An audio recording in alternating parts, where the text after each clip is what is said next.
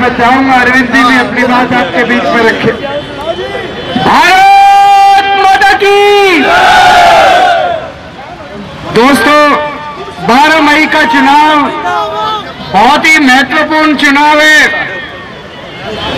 अभी तक पिछले 15 साल से 10 साल कांग्रेस ने राज करा। कांग्रेस ने लूटने के सिवा कुछ नहीं करा हरियाणा का। एक टाइम ऐसा था जब कहते थे, हरियाणा दूध दही की नदियाँ बहती हैं, वो है हरियाणा।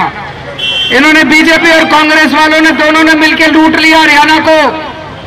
और पिछले पाँच साल से खट्टर साहब ने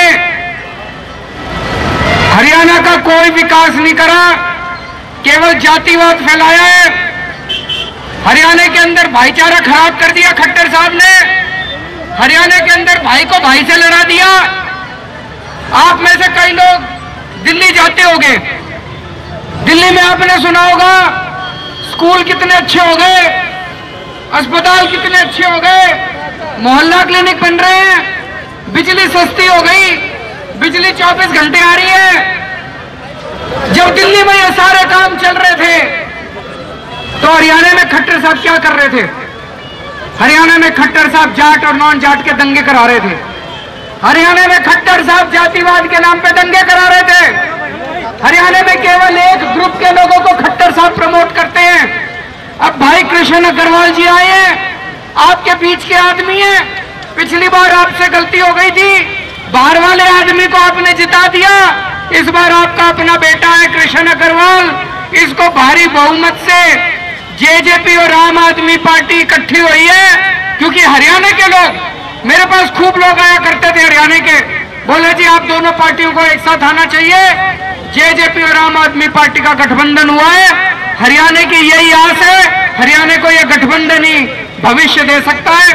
सारे जने मिलके इस बार 12 तारीख को झाड़ू का इतना बटन दबा देना इतना बटन दबा देना बटन ही खराब हो जाए।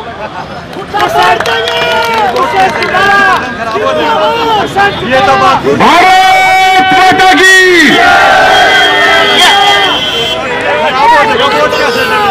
बट दो दो बात नोट करनी है मुख्यमंत्री का गृह क्षेत्र है ये जब चुनाव हो रहा था ना यहाँ पे निगम का तो इस मुख्यमंत्री ने पोस्टर निकलवाए थे। मैं पंजाबी हूँ। पंजाबी मेरे को वोट दियो। तो भाई साहब, पंजाबी मुख्यमंत्री को वोट दे देंगे और सारे झाड़ू को वोट दे दियो एक बात, दूसरी बात यह है अब भाई साहब जात पात के नाम पर झगड़े करवाना इनका काम है। तो ये बीजेपी का कांग्रेस का खुट्टा पाड़ना ज़रूरी है। और गठबंधन हमारा। जिसने व्यापारी वर्ग को भी टिकट दिया ये बीजेपी कांग्रेस वाले व्यापारी हम पागल बढ़ाते रहते हैं। इस बात का आप लोगों का ध्यान रखना है। इसका घुट्टा पाड़ना बीजेपी का तैयार हो नहीं हो हाथ उठा के बताओ एक बार हाथ उठा के कुत्ता मारने तैयार हो नहीं हो तो भाई साहब आप लोगों ने देखना पड़ेगा अब पूरी ताकत लगानी पड़ेगी और झाड़ू का बटन दबाना पड़ेगा। अगली विधानसभा में भी अपनी सरकार आनी है और लोकसभा भी आप जीते बहुत बहुत धन्यवाद। चलो चलो। चलो। कर दीजिए चालू कीजिए।